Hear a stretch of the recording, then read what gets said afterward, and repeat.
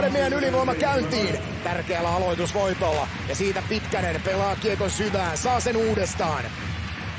Sitä maalikulmalta Kähkönen hakee paikan Strömman laukoo ja laukoo etukulmasta tarkasti tämän kauden seitsemännen maalinsa ja kahden miehen ylivoima tuottaa tulosta. Malte Strömvall iskee KK 1-0 johtoon. 10.32 on pelattu ottelussa erää ja tämä maali syntyy kahden miehen ylivoimalla.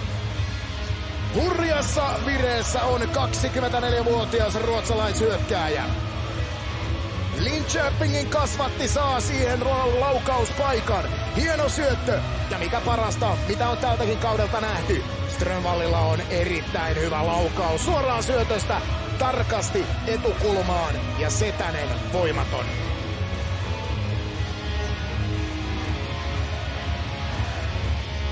Se on siis kauden se... Ja Koivis toisella hyvä vauhti käy siellä taklaamassa päätyyn. KK kuitenkin kiekossa. Kähkönen Pitkänen. Ja Pitkänen kahden pelaajan välistä tulee tonttiin. Ja Setänen pitää, pitää, mutta vielä tulee Malte Strömvall. Ja tökkää kiekon uuniin.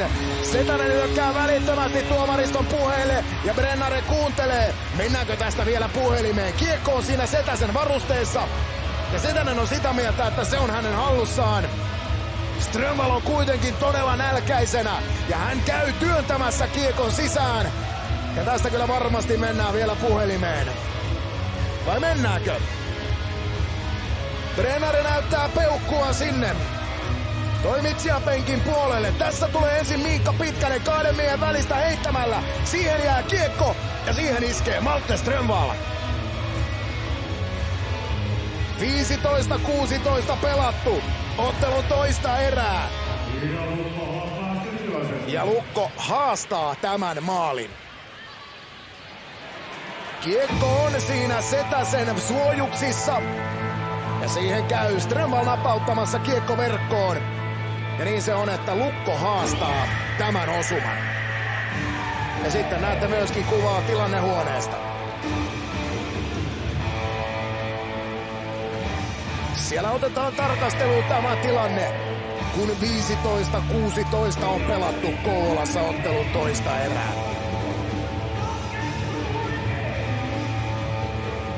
OK on mahdollista toista maalia. Tutkitaan. Setänen pomppaa totta kai siitä välittömästi. Kiekko on siinä jossain hänen suojuksissaan edessä. Strömval varmasti näkee sen, koska siihen iskee mailalla niin, että se menee varusteiden alta sisään.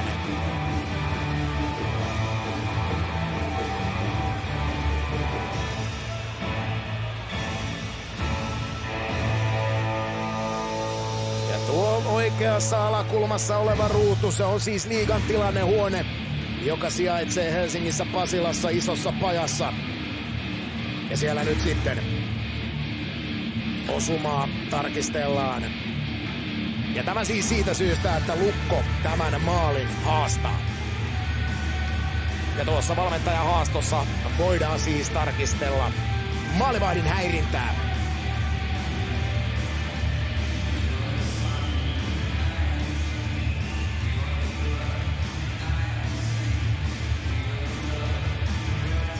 Siinä Pekka Virta ja vasemmalla puolella Erik Hämäläinen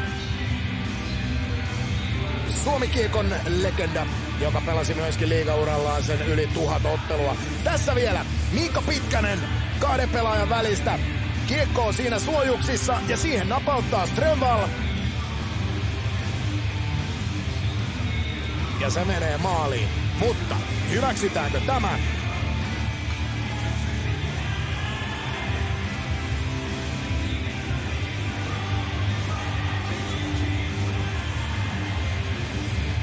Setänen on välittömästi sitä mieltä, että kiekko oli siellä hänen varusteissaan.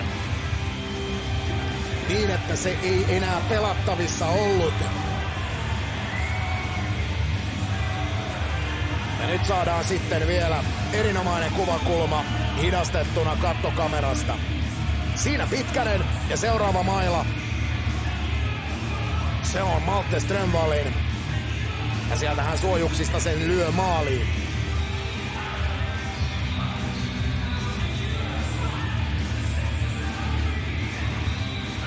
Tamas Tuokkola. Penkin takana totta kai psyykkaa omiaan, oli tilanne sitten mikä tahansa.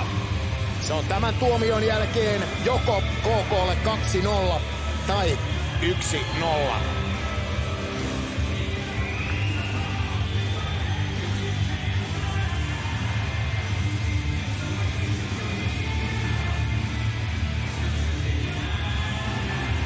Ja kuten näette,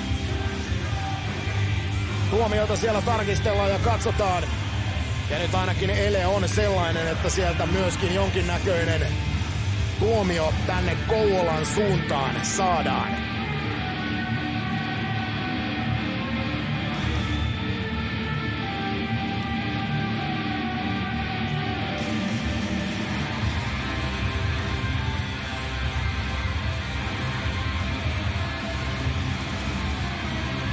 Katsotaan mikä on tuomio. Tämä siis Rauman Lukon haasto. Ja se tuomio saadaan nyt, koska sieltä tulee tuomari. Tuomari ilmoittamaan tämän tilanteen.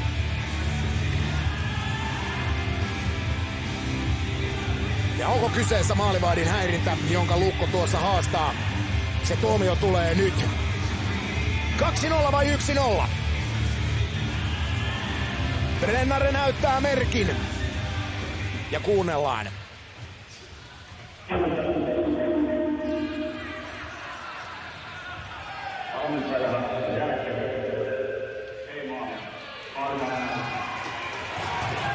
Ei maalia, maalivahdin häirintä. Tapio Laakso pumppaa myöskin omiaan. Tämä oli onnistunut haasto. Pekka Virta, Lukko haastaa ja maalivahdin häirintä edelleen 1-0. Ja tuosta kun katsotaan, niin kiekko ei näkyvissä ainakaan siinä ole, kun Strömvall sinne suojuksiin iskee. Ja tämä siis Lukon haastama tilanne, maalivahdin häirintä ei maalia. Keskialueelta jatketaan 1-0. Hän huolimaton syöttö, Defazio. Nosto keskialueelle. Salmela Nopeaa kääntöä, Lukolla on vaihto kesken, Defazio nappaa kiekon, Friberg tulee tilanteeseen vielä, pelaa paikan ja Brandon Defazio iskee tämän kamppailun tasoihin. 18.46 pelattu ottelun toista erää. Brandon Defazio päättää Lukon pitkän maalittoman kauden. Ja tämä kamppailu tasan 1-1. Kanadalaisen tämän kauden toinen maali tasoittaa. Erinomainen riisto Defaziolta. Käyttää Friberillä ja Friberi antaa namia vielä siihen Defaziolle. Ja tästä ei kanadalainen enää erehdy. Loistava kääntö keskialueella, joka lähtee nimenomaan Brandon Defazioon loistavasta riistosta. Yksi yksi.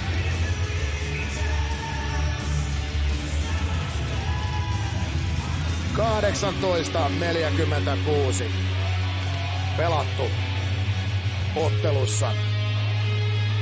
Toista erää. Lukko tuli. 30 sekuntia rangaistusta jäljellä. Danford Iskee sitten vähän vaihdetta silmään laidasta ja tulee. Perhonen peittää etukulman. Vielä Laakso kiekossa. Laakso pääsi laukomaan ja laukoo, laukoo sellaisen ranteen, että Lukko siirtyy ylivoimalla 2-1 johtoon.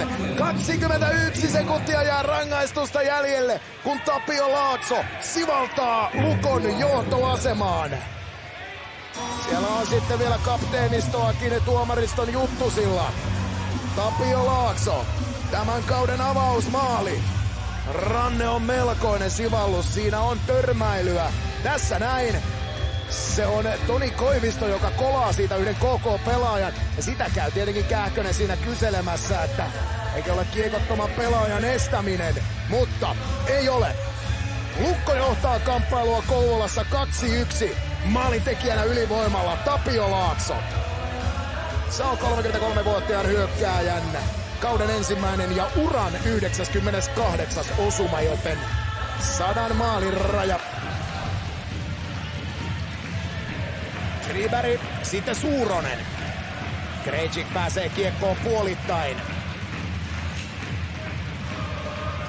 Näin tulee sitten Aaro Wiedgren. Nyt on paikka laukoa ja Wiedgren virittää sellaisen sen läissyn, että Lukko siirtyy 3-1 johtoon. Suoraan luistelusta nelosketjun laituri painaa ranteella ja painaa kiekon verkkoon. Lukko pääsee kahden maalin karkumatkalle kun 13-18 on erää pelattu. Ja se on puolestaan Aaro Wiedgrenin tämän kauden ensimmäinen maali ja ensimmäinen tehopiste. 3-1. Suorasta luistelusta laukaus ja se painuu verkkoon. Viime kaudella Wiedgren siis Chicago Steelissä USHL. Toissa kaudella syntyi uran ensimmäinen liigamaali. Se oli ainoa ennen tätä osumaa, mutta nyt tulee maukkaaseen paikkaan. Lukon 3-1 johtomaali Hanskan puolelle napsahtaa. Tuskallisen nopeasti KK kannalta. Samalla Lukolle viides kenttäpelaaja. Nyt mennään kuudella viittä vastaan keskialueelle ja siihen jäähypenkiltä jalkaa riittää Koivistoisella. 10 sekuntia Koivistoinen ja siinä on viimeinen sinetti. 4-1. 6 sekuntia jää kelloon. Koivistoinen tulee tuoreella jalalla ja pistää viimeisen sinetin. Kauden ensimmäinen maali hyökkääjälle ja tämä homma on lopullisesti paketissa. Karu kertoma. KK tämän kauden kolmansista eristä jatkuu edelleen. 11 ottelu ja yhdeksäs kolmannen erän tappio. Ja tänään sitten ensimmäistä kertaa KK myöskin jää kotikaukalossa täysin ilman pisteitä. Eetu Koivistoinen sinetöi, toki kuusi sekuntia jäljellä. Tämä on korkeampaa kosmetiikkaa, mutta